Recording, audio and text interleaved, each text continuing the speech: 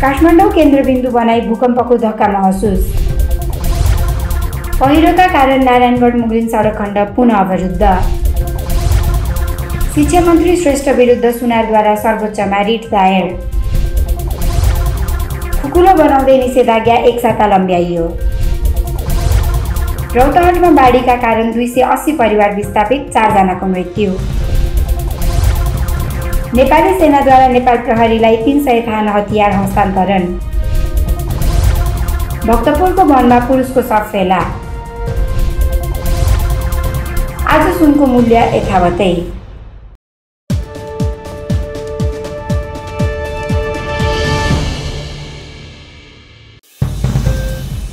काठमाडौँमा एका बिहानै भूकम्पको धक्का महसुस गरिएको छ।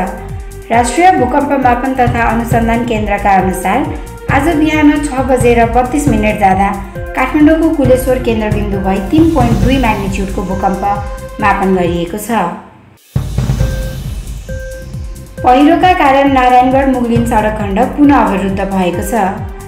हिजो मात्रै सेती दोभान पहिरो हटाएर एकतर्फी बाटो खुलाए लगत्तै पुनः पहिरो जाँदा सडक अवरुद्ध भएको हो। सडक अवरुद्ध भएपछि यातायात पुनः बन्द भएको छ। रूपा सुनारले शिक्षा विज्ञान तथा प्रविधि मन्त्री कृष्ण गोपाल श्रेष्ठ विरुद्ध कारवाही माग गर्दै सर्वोच्च अदालतमा रिट दायर गरेकी छिन्।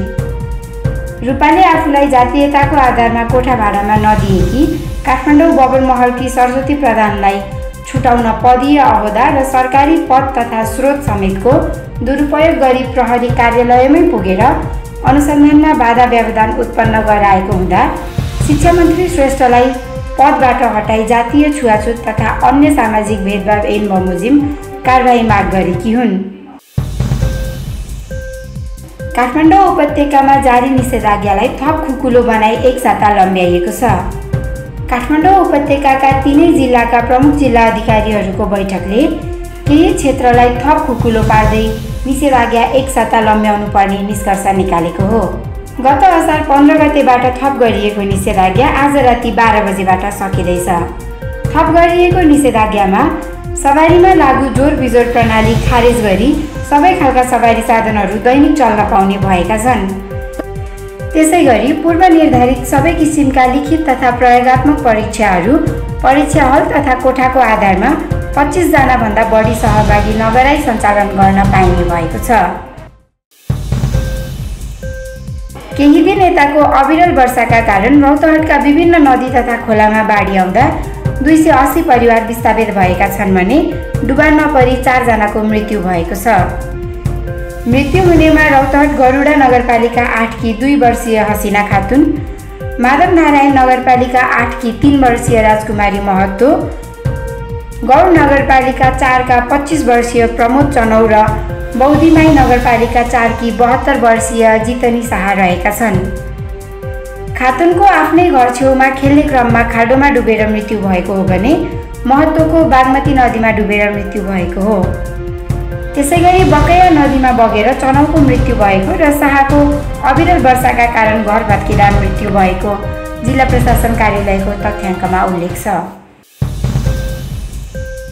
नेपाली सेनाले नेपाल प्रहरीलाई तिन सय नाल हतियार तथा सोको एम्युनिसन र सम्बद्ध सामग्रीहरू हस्तान्तरण गरेको छ।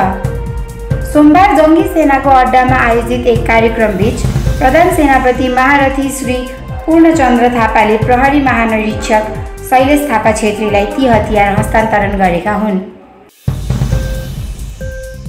भक्तपुरको सूर्यविनायक नगरपालिका वडा नम्बर एक सिरुटार स्थित चमेली वनमा पुरुषको शव फेला परेको छ।